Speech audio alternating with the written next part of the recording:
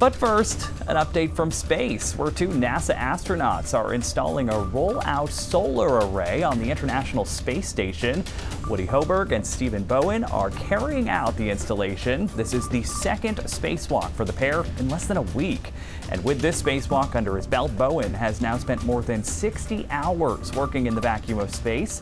Next week, a pair of cosmonauts will take a stroll through the empty void to work on communications and scientific hardware. We'll be right back.